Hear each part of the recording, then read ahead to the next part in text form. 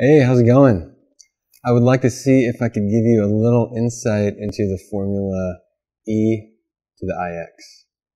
And um, I'm actually pretty excited to look into this because um, I've always kind of been like a little bit unsettled with it because we use it all the time in electrical engineering for, I mean, for AC signals. We use it for electromagnetic waves.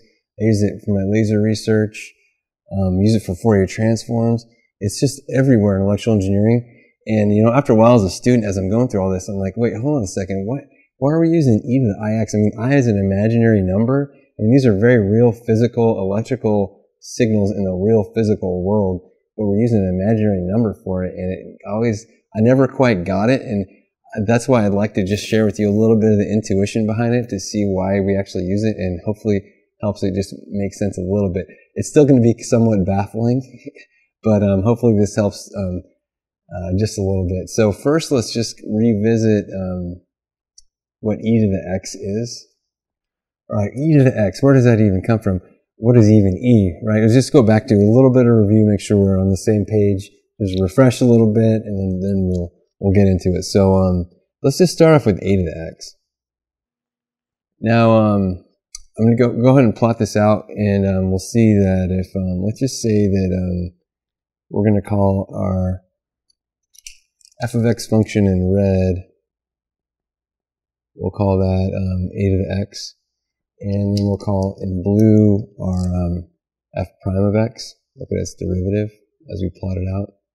And if you take the derivative of this, that's going to be um, natural log of a times a to the x. So um, let's first look at when a equals 2.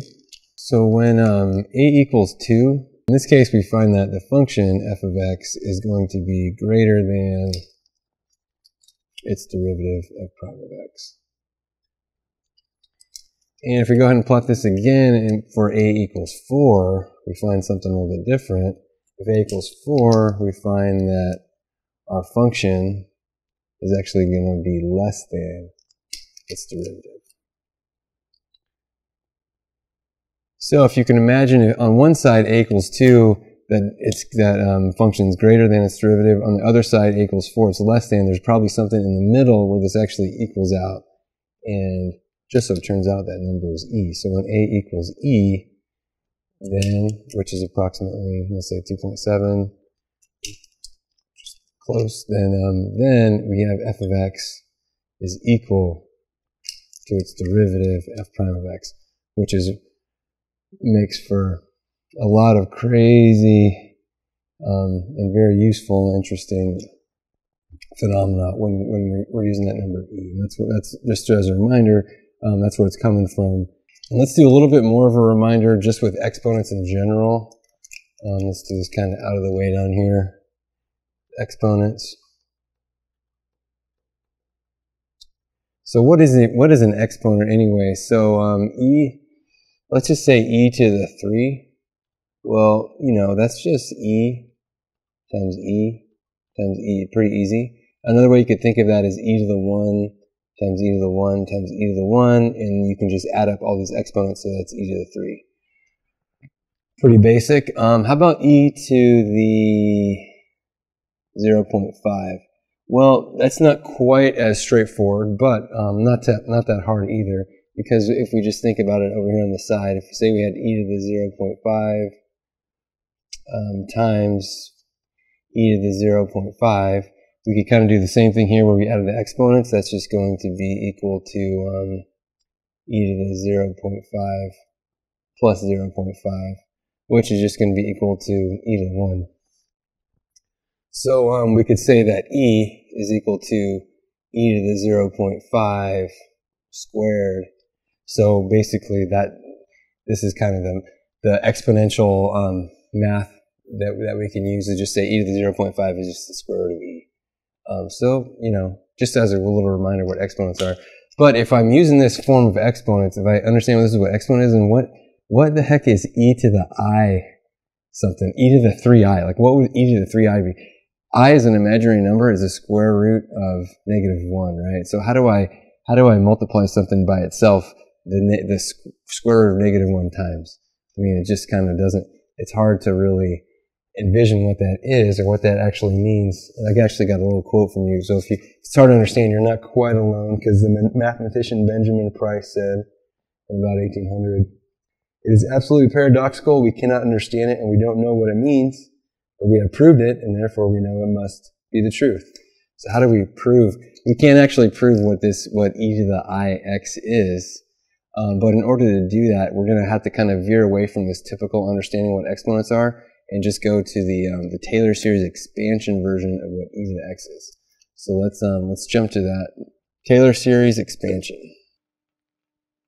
So the Taylor series expansion for e to the x, which um, perhaps you're familiar with, is just going to be e to the x is equal to 1 plus x over 1 factorial plus x squared over 2 factorial plus x cubed over 3 factorial plus x to the fourth over 4 factorial. And hopefully you can see this pattern developing here, and it's just going to keep going on um, infinitely. This infinite series is going to be equal to e to the x. So um, let's just throw an example up there um, before we get we throw any, anything crazy here with imaginary numbers, and let's just say e to the 1. e to the 1, nothing um, fancy about that. It's just 1 plus 1 over 1 factorial, which is 1, plus uh, 1 squared over 2 factorial, which is 2, plus 1 cubed, which is 1, over 3 factorial, which turns out to be 3 times 2 is 6, plus 1 to the fourth, which is just 1, over 4 factorial, which is 4 times 3 is 12, times 2 is 24. Um, so let's, we're not going to do all these, so let's just say, make this an approximate right here. And it's going to be approximately uh, approximately 2.709. So simple enough. That's how you just um, apply this um, Taylor series. Now um, let's go ahead and move this on to i. Because although we can't really envision how we're going to throw an i into this so typical form of exponents, we can simply just throw an i into here and see see what happens, see how it plays out. So um, maybe we'll start with something really easy. Let's just say we're moving on to um, e to the ix now. Um, so let's just say x equals 0. So for x equals 0, we have e to the i times 0. And that's going to be equal to, I'm just going to plug this in here, 1. And all these x's are 0, so it's just going to still equal 1. So that's easy. That's easy. All right, so let's move up in difficulty a little bit away from 0 and just say x equals 1. So when x equals 1, we have e to the i times 1. And now we can just plug that um, this i times 1 in for each of these x values. So we've got 1.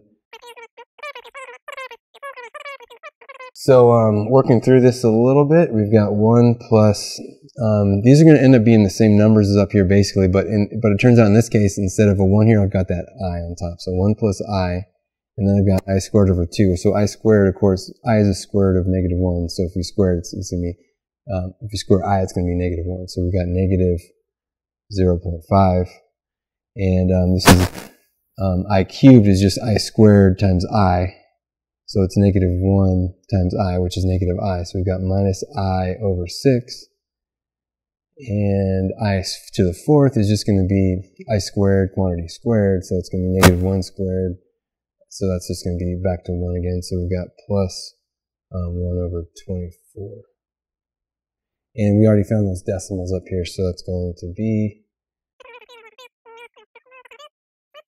And um, this is where uh, it might be helpful to start plotting this out. So, and the way we're going to plot this out is with our complex plane because we got it. We've introduced this complex imaginary number. So, complex plane. We've got two different axes here. We've got the real axis, and this is our going to be our imaginary axis up here. All right, let's go ahead and plot out our first point here. Our first point was when x is equal to zero, and we, when x equals zero, we've got um, this value of just one. So that's a real that's a real number. There's no i here, so it's just one on our real plane. So it's it's just right here, one. There's nothing on the imaginary. So this is our first point. Um, x equals zero.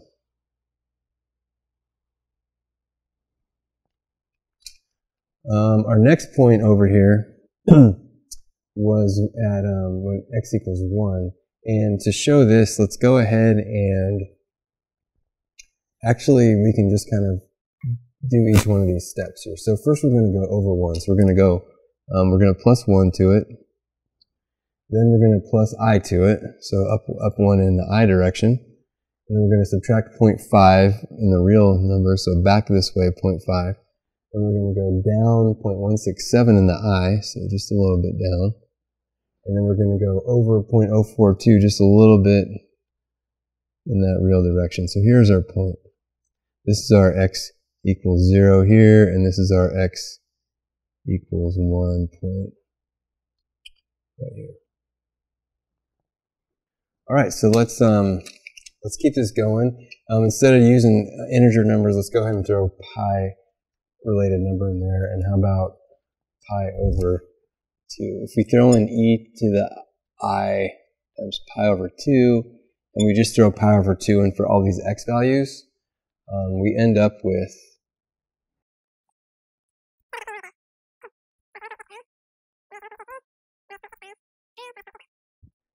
Um, okay, so let's go ahead and work this out over in our complex plane over here. So I'm going to try not to overlap this exactly, so I'll go a little bit under it. But again, we're going over over 1 here. And then we're going to go up 1.6. So we're going a little bit past this, up to here. And then we're going to go minus 1.23. So we're going to go a little bit past this axis over here. We're going to go down 0.65. So a little bit under this one and then plus 0.25. So we end up right about here somewhere. This is our um, x equals pi over 2 point. If we calculate this out or just add these up, that's going to be 0.02 plus 0.92i which is fairly close to this 0.10 here, but not quite. And that indicates that maybe we need to add a little bit more um, of these uh, series. Maybe we should go a little bit past x to the fourth to get a little bit more fidelity here. But um, something to note here, you can see as we're adding these up, you can see we're sort of spiraling, spiraling around and we're kind of like going in this circle and we're kind of zeroing in on the point it actually is. And the more, the more Taylor series values that we have, the more we can kind of spiral and zero in. And the reason we're kind of spiraling like this is because each time we're adding a component here, we're multiplying by i, because you got i, and then you got i squared, i to the cube. You keep multiplying by i, and every time you multiply by i, it's like you're, it's like you're taking a left turn. It's like you're doing a 90 degree um, rotation every time. And so you keep, you keep doing this spiral as you keep multiplying by i, and adding smaller values. All right, last um, point here, let's go with e to the i pi, and you can tell in this case we were maybe needed some more terms, so we're going to go ahead and go up to 10 terms on this, and don't worry, I'll write them out really quick over here. So e to the i pi.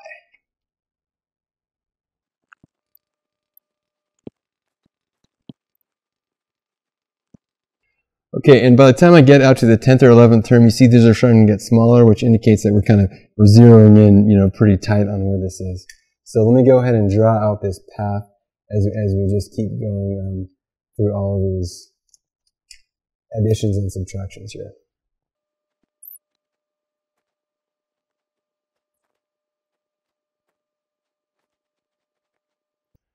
Okay, so you see we had to take a couple more spirals, but but what we um, we ended up getting really close here. It turns out if I um, if I uh, write that point here, this is the x equals pi point. We've got um, e to the i pi is equal to, so it's basically the point negative one zero, and it will get there if we keep if we kept spiraling to get exactly to that point. But you can see how adding more values is giving us a bit more accurate number. And um, another thing you might notice here, just as just sort of an intuition, what e to the i pi is doing is that if you think e to the x like up here, we're just going to keep adding terms and it's just going to keep getting bigger, right? It's exponential, right? It's going to keep, keep expanding really fast. But why is it that this e to the ix does not keep expanding like that? Well, you can see it on here because we're adding and subtracting terms. Now, we're not just adding them like we are up here. Now we're going to, you know, adding i terms and then we're going to subtract i terms. We're going to add these x terms or that we're going to add the real values and then subtract them. We kind of keep going back and forth and we're spiraling instead of just like going, you know, bigger, bigger, bigger, We're just kind of getting um, tighter and tighter in and, and um, spiraling in. So that's why e to the e to the ix doesn't actually expand exponentially like e to the x does. It spirals, spirals in instead. And it turns out it spirals in to very specific um, points that just happen to be on what you may imagine here is going to be our unit circle. So we start here at x equals 0, and you go up to this x equals 1. When x equals pi over 2, you actually cross that um, 0, 1 point up here, and you'll come down, and you'll actually keep cycling. Oh, that's a, I, did, I wrote this really bad, didn't I? But imagine that's an actual circle. And that's what um, e to the ix does. It just keeps cycling around here. So you can imagine at this, um, when I went to e to the i pi, what I, what happened was I started at, you know, x equals zero here and I went full pi radians all the way over here. That's like the distance I traveled would have been pi. And I went from the point um, one zero to the point negative one zero via a distance of pi, which is sort of that half of that circumference around that unit circle. So, um, a couple things to take home here. Let's write them out. All right, so uh, e to the ix follows unit circle in complex plane, where x is distance traveled around unit circle. So that's just kind of a basic idea of what, of what e to the x represents here. And something also very fundamental that um, that you may kind of notice here is this: if if, if e to the ix is following this unit circle, then it can also be explained by um, cosines and sines. So that's where we get Euler's formula, which is very important. So Euler's formula states that e to the ix is equal to cosine of x plus i sine of x where this cosine of x is sort of the real component, and this i sine of x is our imaginary component. Very important, so let me go ahead and box that in. All right, so as you can imagine, this um, e to the ix can be a lot easier to use than, than using these trig terms, cosine of x and i, co and I sine of x. That's why it can be extremely helpful and it's used all throughout electrical engineering. Um, like I said, with electromagnetic waves, with AC signals, I've used it with lasers again. Um, it's used in the Fourier transform. It's used everywhere. And even though there's this I in there, that doesn't mean it doesn't actually um, relate to the real world. It, re- it, really does.